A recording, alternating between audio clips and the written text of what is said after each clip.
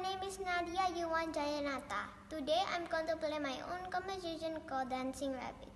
The story is about a little rabbit walking through the forest. Then she heard music. Then she began to dance.